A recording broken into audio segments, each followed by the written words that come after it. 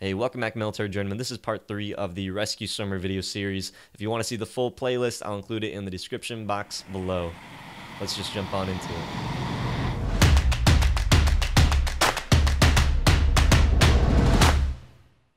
Now, now let's talk about. So you've you've made it. You're an aviation survival technician. Um, what what can you expect showing up to your first unit? Yeah, so so you've graduated rescue swimmer school. You think, yeah, I'm a, I'm a rescue swimmer now. It's like, hold up, no, you're not. So when you show up to your unit, you're just you're just we call it the boot third. You know that term, but but you're you're just out of rescue swimmer school.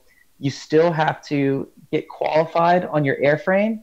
You with which you have to get qualified on the helicopter that you're going to fly in, which is like a hundred page syllabus, and you have to learn everything about this aircraft.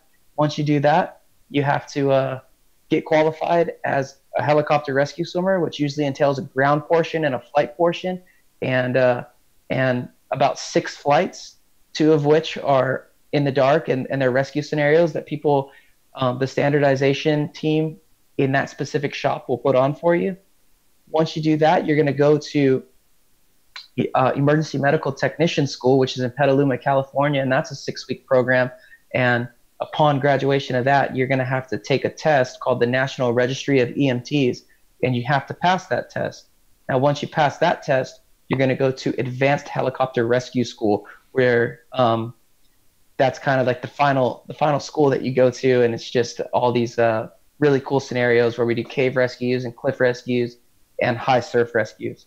Once you do all those things, you'll be a qualified rescue swimmer. So the whole process of graduating rescue swimmer school and finishing all that usually takes um, at least a year. You know, maybe people don't don't realize it's like when you graduate from rescue swimmer school, you're you're not just jumping out there and saving No. people and saving lives. Uh, so what what is like a day to day operation uh, as a rescue swimmer, as like someone that uh, maybe is like a, a third class or a second class? Yeah, so day to day operation. So I kind of break it down in, in, in a weekly operation because that kind of paints the picture better, I think. So, so what? So in a week, you'll probably stand one or two duty days, and on a duty day, you're going to be the rescue swimmer that's on call for 24 hours. So your job is basically, it's kind of similar to being at a fire station, I guess, where if you're on duty, you basically just maintain your gear and wait for calls, um, help out around the shop. So those are your duty days. On your non-duty days, we're um, we're still flying. We're uh, doing we do a lot of training. We do a lot of EMT training. We do a lot of physical fitness training. Um, we go to the pool a lot, and uh, we also maintain all the life support and survival equipment that's on all the aircrafts.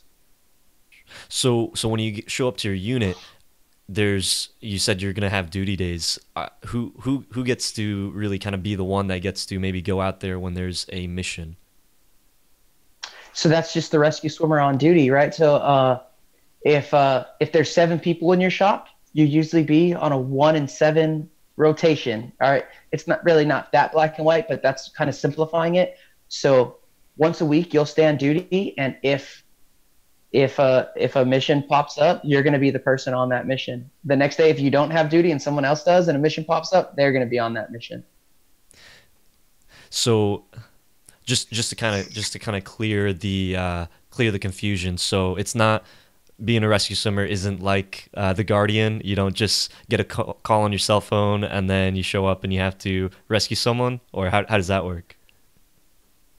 that does happen sometimes, but but um, if you're on duty, you're usually uh, right there on base, um, attached to the base for that day. But uh, I've definitely gotten phone calls before, like, "Hey, we're setting out a second or a third helicopter. We have you know a plane crash, and we need multiple helicopters." And I've flown out with multiple helicopters before and pulled multiple people out of the water with just a bunch of helicopters down, just pulling people out of the water.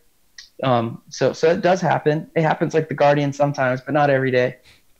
So what about like a full career in the Coast Guard? So let's say you you graduate from rescue swimmer school and you've you've uh, you're now a third. What what can you expect as a uh, AST once you start maybe moving up in the ranks?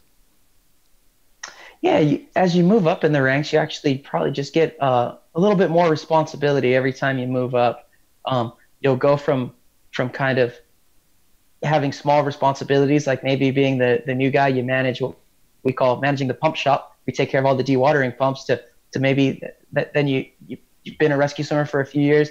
Now you're going to be in charge of uh, ordering all the gear for all the rescue swimmers, and then uh, you're in a few more years. Now you're going to be um, actually in charge of the duty schedule and the whole shop and how maintenance runs in the shop. And then uh, a few years from there, you're kind of just taking a taking a management role. But what's really unique in our job field is it's a uh, the Chiefs are jumping out of helicopters too. So it doesn't just come to a point where you just like stop doing rescue missions and now you've just got you know you're just letting all the seconds and thirds doing the mission. Um, for some people it does. Uh, who who it kind of just depends on what path you want to go on. You know, so so typically if if you're a E7 or even E8 and below, excuse me, you could still stand um, rescue swimmer duty. I don't think any of our master chiefs stand rescue swimmer duty, um, but uh, but definitely senior chiefs and below are standing rescue swimmer duty. Now, maybe one of the big things that isn't really maybe talked about, but is uh, I imagine that there's got to be a lot of injury if you're doing this job for a long period of time. You know, it's very physically demanding. You know, on the on the helos uh, with the missions and training all the time. Um, is this really kind of a job that that is maybe easily sustainable for maybe 20 plus years? I wouldn't say it's easily sustainable for 20 plus years. I would say it, it's it's definitely doable. People do it. Um, but injuries are huge in our job. Every one of us has got a lot of injuries. Um, a, a, lot of us have knee injuries, shoulder injuries, back injuries, uh, all attributed to either just training so hard or getting ripped out of the water at night by the helicopter. Um, a, a, bunch of things can lead to injuries, but uh, we're really trying to mitigate that right now by implementing programs to uh, increase the longevity of the rescue swimmer. So we just created a well, we didn't just create it, but but it's it's growing. Um, we have a school called operational um, operational fitness training, and it's a it's basically just the latest and greatest techniques of taking care of yourself and your body and smart ways to physically train. And we invite all the rescue swimmers to come to this training. Um, so we have 50 spots open every year. We do this right here at Elizabeth City, right where we do the A school. We invite 50 rescue swimmers a year, and we put on a, a really cool five day training seminar um, of how to safely train and take care of your body. And uh, yeah, that's one of the things we're doing to, to help help out our rate. Now, you know, it's kind of it's kind of said like being a rescue swimmer is probably one of the um, coolest jobs because it's like you you spend a lot of the day, um, you know, training, working out, and then you're also uh, you're also doing some really cool missions and do, being involved in a lot of high intensity, you know, with the hurricanes, and uh, we we see a lot of you guys in the news and publicity. Uh, but is this is this a job that people stay in for just like their, their whole career? Or is it pretty pretty even keel where people are getting out? Um, because i know that the retention rate um, uh, or the advancement for rescue swimmer is, is pretty competitive yeah the advancement is competitive because it, it like you said it's such a good fun job um, where we get to go out we get to go into work and hang out with our friends and work out and jump out of helicopters um, it's hard to to want to get out and leave that job. So people generally stay in the the job, which is good, but it makes it hard, like you said, to advance because everybody's trying to advance.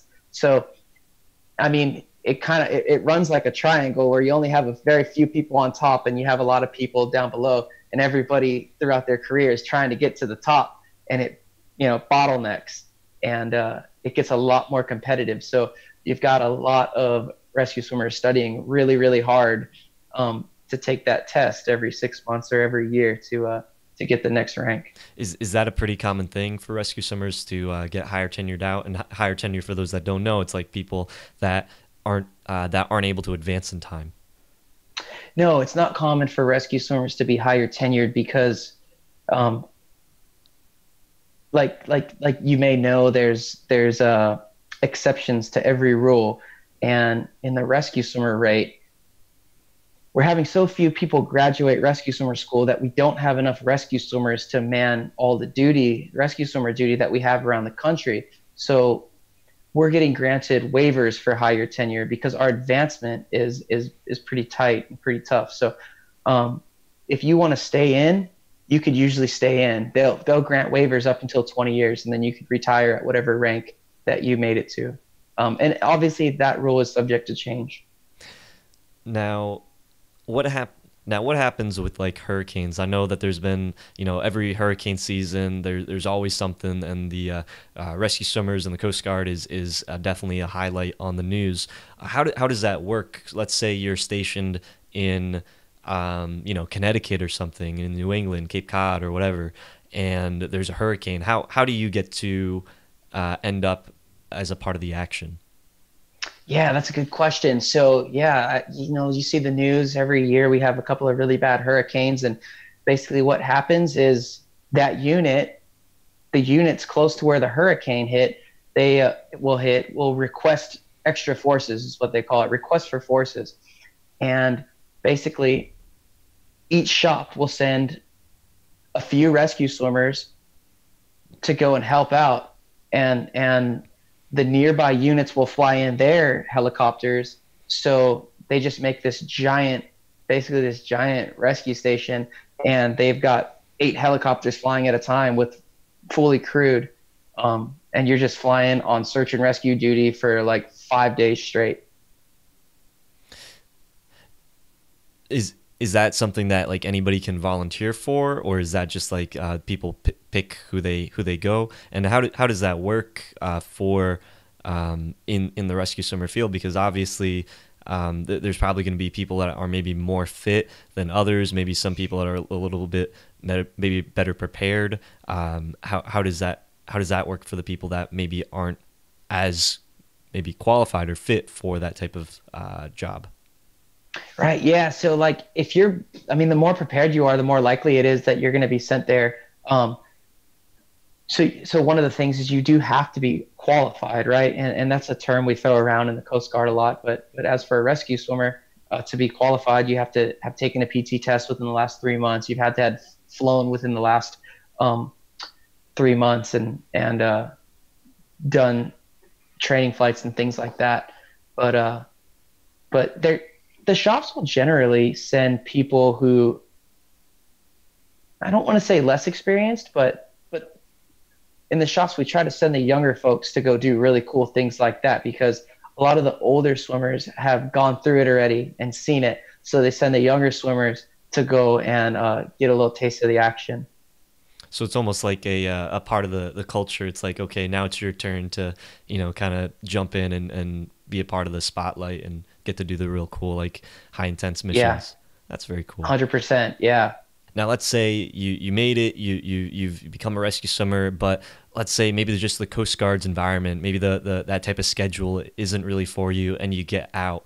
Um, what type of uh, jobs or what type of experience or position would you might be able to get yourself lined up for after you get out? Like being an it um, you know we're, we're we have a lot of positions for like big companies that um, that maybe are trying to recruit you because they they know you have that type of experience. How, how does that work for uh, rescue swimmers Hope you guys liked this video. If you did, give it a big thumbs up and consider subscribing if you haven't already. If you're enjoying these, just smash that like button for me. Let me know that you are enjoying these conversations. If you want to see the full interview of this series, I'll include it right here. Or if you want to keep watching something else, you can watch this right here. Until next time, peace out.